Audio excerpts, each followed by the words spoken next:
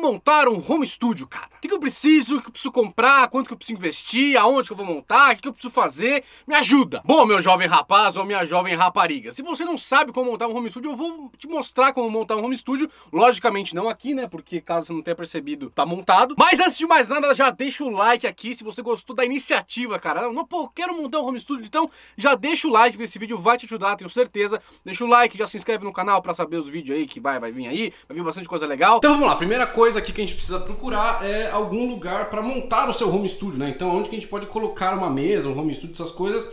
Então o lugar escolhido para mim foi ali. Ali é bom por quê? Porque tem espaço e porque tem tomadas, cara. É bom você ter tomada perto. Então vamos lá, a primeira coisa que você precisa é de uma mesa ou de alguma escrivaninha ou qualquer, coisa para você colocar os equipamentos em cima. E aí a gente entra nas cinco principais coisas que você precisa para montar um home studio. A primeira coisa que você precisa é de um computador, seja Mac, seja notebook, seja computador, né, os grandões mesmo. Então de um computador, segunda coisa de uma interface, terceira coisa de uma DAW, que é, uma, é, um, é o programa, né, o software que você vai usar para gravar suas, suas músicas, ou seja, o áudio que você for gravar. Então, a DAW a terceira. Microfone, você precisa de um microfone para poder se gravar e, em quinto e último lugar, uma monitoração. Você precisa se ouvir, né? Seja com monitores de áudio, com caixas de som, com fone de ouvido, enfim. Essas são cinco coisas que você precisa para montar um home studio. Então, vamos lá, vamos montar os bagulho aqui. Então, a primeira coisa que você precisa, né, daquela listinha que eu fiz, é de uma mesa. Bom, mesa colocada, logicamente você precisa de uma cadeira também junto, né? Não adianta nada ter só uma mesa. Agora, o próximo item da nossa lista, que tá naquelas cinco coisas que você precisa para ter um home studio, é um computador. Eu vou usar o meu notebook, que é um Mac, né, um MacBook Pro, que eu tenho ele aqui, eu uso mais para editar vídeo, editar alguns áudios também. Então o computador está aqui, primeira coisa que é o computador já está aqui. Então a próxima coisa que a gente precisa é de uma DAW. A DAW é o seguinte, DAW é DAW, né, que é a sigla para Digital Audio Workstation, né, a estação do, do áudio digital. Então que é um programa para você editar áudio, enfim. A gente tem várias opções no mercado, então tem o Logic Pro que só serve para Mac, tem o Pro Tools que geralmente você deve ter ouvido falar já no Pro Tools que os grandes estúdios usam, tudo mais. Tem Studio One, tem um, um zilhão de, de DAWs por aí. E eu vou usar uma aqui que se chama Reaper. O Reaper é o que eu uso desde, desde o começo, quando eu comecei a estudar. Uso hoje nas minhas produções também. Tem produtor aí de Los Angeles que usa esse, esse programa também. E o melhor de tudo é que ele é de graça. Você pode doar 50 dólares se você quiser mas você pode usar ele de graça, você entra no site oficial deles, reaper.com, baixa o programa para Windows, para Mac, seja lá o que for. Então a DAW que eu vou usar aqui hoje é o Reaper, por essa questão de você conseguir baixar na sua casa também. Então computador e o Reaper aqui abrindo, então já temos o computador, já temos a DAW e agora falta a interface, o microfone e a monitoração. Essas três coisinhas aqui é o que mais a galera pira. Ah, qual que é a melhor interface? Qual que é o melhor microfone? Qual que é a melhor monitoração? É um fone de ouvido? É um, a caixa de som? Não sei o que lá. Então para resolver o nosso problema de interface, microfone e fone de ouvido, eu vou usar aqui uma solução muito simples que é o kit da Scarlett, cara. A Scarlett é uma das melhores é, marcas aí do mercado de áudio e eles vendem esse Scarlett 2 e 2 Studio, que é um kit basicamente de home studio que vem a interface com duas entradas e duas saídas, que tem uns pré-amplificadores muito bons e a, a, a, conversão dela é muito boa. Que a interface ela nada mais é do que uma, uma ferramenta para comunicar, para fazer a comunicação do analógico, né? Que quando a gente fala no microfone, a gente está emitindo ondas sonoras, né? A gente está no mundo físico. E o que a interface vai fazer é pegar esse mundo físico, esse mundo analógico e converter para zeros e uns, que é o sinal digital. Então, o conversor precisa ser muito bom. Quanto melhor a interface, mais cara a interface também, melhor vai ser o conversor. Então, aqui são duas entradas, pode encaixar tanto o microfone né, que é o XLR que vem aqui, um cabo XLR, quanto um P10 para ligar sua guitarra, seu baixo, enfim. Vem um microfone, um microfone dinâmico, muito bom esse microfone inclusive. Eu fiz alguns testes aqui no canal também. E vem um fone de ouvido, um headset para você se ouvir. O headset não é lá essas coisas, não é bom pra caralho. Ele é bom, muito bom também para você se monitorar tal. Mas para fazer mixagem, esse tipo de coisa, eu já não recomendo muito. Mas cara, pela interface, pelo microfone, cabo e pelo fone, só para você se monitorar, só para você se ouvir, não para fazer mixagem, mano, é um puta kit e é esse kit que a gente vai usar ali. Cara, olha o tamanho dessa interface. Mano, eu gosto dela exatamente por isso, por ela ser pequenininha. Mano, ela fica lindona aqui já. E o mais legal é que ele não precisa de fonte, cara. Ele não precisa de fonte, é só você ligar o, o cabo USB. Esse aqui é um USB tipo C é só você ligar o cabo USB que ela já funciona, você não precisa ficar ligando na tomada. Como o meu Mac ele só tem entrada tipo C, é só eu vir aqui, espeto e já está funcionando, ó, já ligou aqui bonitinho, ó, já ligou aqui bonitinho. A próxima coisa que a gente precisa aqui é de um microfone, então eu já tomei a liberdade aqui de montar o microfone da, da Scarlett aqui num pedestal. É, é interessante você ter um pedestal, então eu vou deixar ele aqui, do ladinho aqui, para a gente conseguir mexer ali, quando quiser gravar é só puxar aqui para frente e é isso. No kit da Scarlett também vem com esse, esse cabo aqui, né, pra gente ligar o microfone na interface. Então, como vocês podem ver, ó, aqui é o volume do ganho, eu tô falando aqui e tal, ele já tá reconhecendo aqui é, a minha voz, inclusive aqui no programa. Então agora, por último, a gente vai ligar o fone de ouvido da Scarlett aqui, que já vem no kit. E agora eu posso controlar aqui o volume do, do meu fone de ouvido por aqui. E basicamente é isso. Tá montado o nosso home studio da alegria aqui, com o computador, com uma DAW, com uma interface, um microfone e um fone de ouvido para você se monitorar. Então assim, ele está usual. Você já pode começar a gravar o que você quiser por aqui. Inclusive se você está no seu quarto, cara, e você quer gravar voz, alguma coisa assim, a minha sugestão é que você pegue o seu microfone e coloque, sabe aonde? Aqui, ó. Você abre o seu guarda-roupa e você vai colocar o seu microfone aqui no meio das suas roupas, cara. Por que isso?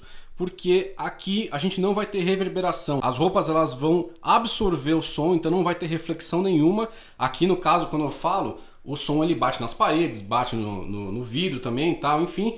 Então, se você quer uma voz sequinha, você vem e coloca o seu microfone dentro do guarda-roupa. Então, fica uma dica aí para você. Eu falo mais dicas de, home studio assim no meu curso de home studio também, mas fica uma dica de graça para você aí. Coloca o microfone no guarda-roupa que você vai ter um som foda. Então, agora, cara, um passo extra aqui, porque assim, ele já tá bonito, você já consegue fazer o que você quiser aqui com ele, mas pro seu home studio ficar bonitinho, bonitinho. Agora a gente vai colocar firula nele para o seu home studio ficar digno de tirar fotos e colocar no Instagram. Eu vou colocar uma luzinha, eu comprei uma lâmpada aqui de LED, então eu vou colocar essa lâmpada aqui de LED atrás do, do, do, do Mac ali e comprei também esse papel aqui, ó, que é papel que você compra em qualquer lugar assim. É um papel que eu vou enrolar em volta do meu LED, da minha lâmpada, e colocar ali, então vai ficar uma luzinha azul atrás. E também uma coisa que pode ficar muito estilosa no seu home studio é você comprar, cara, esses quadrinhos aqui, você pode, pode colocar um quadrinho desse é, em cima ali do, do home, em cima aqui do seu home studio para ficar bonitinho.